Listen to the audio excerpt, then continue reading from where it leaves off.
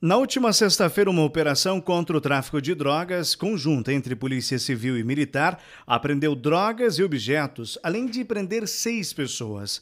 A ação policial foi em Clevelândia. O delegado do município, Dr. Ronaldo Borges, contou como foi o trabalho de investigação e cumprimento das prisões. Dessa forma, foi representado pelo mandado de busca e apreensão em seis residências e também pela prisão preventiva de seis indivíduos, três masculinos e três femininas.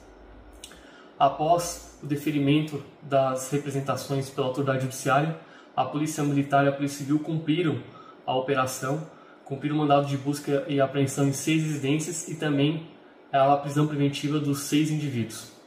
O resultado da operação foi é, seis prisões preventivas cumpridas e alguns é, objetos também apreendidos, né? cerca de R$ 1.189 em espécie, em dinheiros picados, é, oito celulares, 100 gramas de substâncias semelhantes a, a crack, também é, 50 gramas de substância semelhante à cocaína, dois veículos apreendidos também, balança de precisão, seis munições, cartões de memórias e também câmeras de vídeo monitoramento.